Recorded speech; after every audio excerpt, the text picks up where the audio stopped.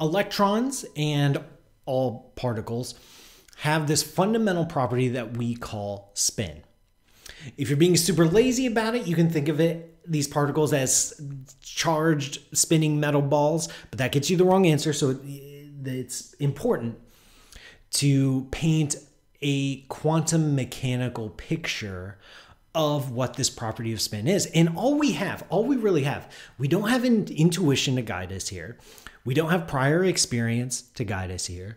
Uh, we haven't evolved to understand spin at a quantum mechanical nature so that when we first discovered it about 100 years ago, it was new. And we just had a list of properties, like a list of rules of how spin operates. And these rules are pretty weird. Particles, different kinds of particles, can have different amounts of spin. And by convention, just by definition, made the math a little bit easier. Some particles can have spin half, some particles can have spin one, some particles can have spin one and a half, two, two and a half, and so on. And that itself is okay, kind of interesting. Like there's fixed levels of spin that any particle can have, but you know, a particular particle like an electron has a certain mass and a certain charge, and it just has a certain amount of spin. But quantum mechanics being quantum mechanics, it gets a little bit messier than that when we go to measure the spin. Because the spin isn't just uh, a magnitude. It's not just a number like the charge or the mass. It's just a number. You, you record the number and you're done. That's the mass of the electron, the charge of the electron. But the spin has a magnitude and a direction. Right? An electron can be spinning like this. It could be spinning like this. It could be spinning like this. Over here, over here, point towards you, point towards me. It doesn't matter. Any you pick up a random electron, it can have any random spin it wants. It the the amount of spin, like how fast it's spinning is always the same, but it could point in any direction. And we have limits to how well we can measure that direction.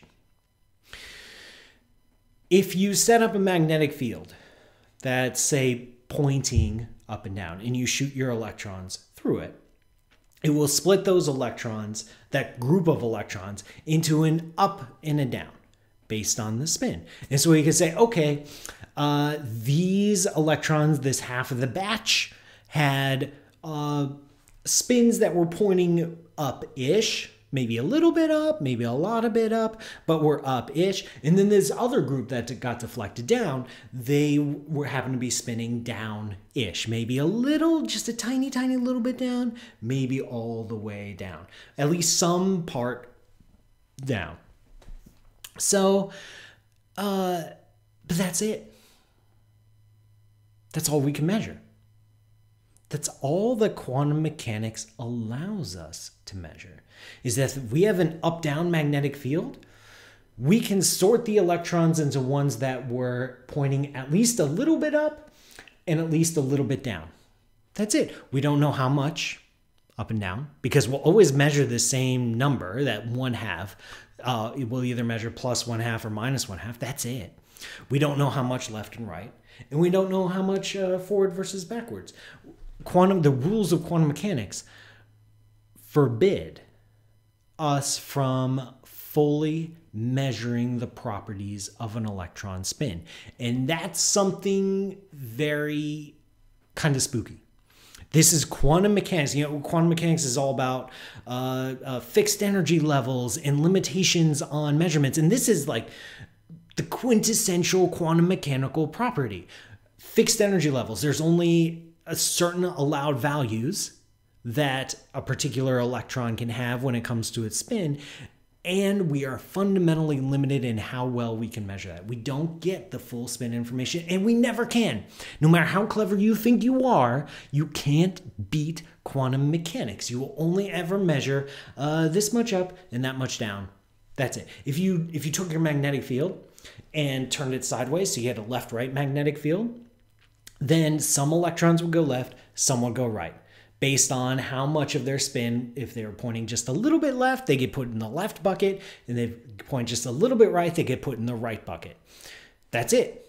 And you don't get to combine that with the measurement of the up and down or the front and back. You can't do them at the same time. In fact, you destroy the information it gets super complicated. It's just it's just really really fascinating to me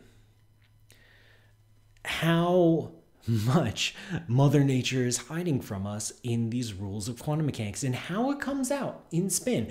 And this wasn't known until the 1920s.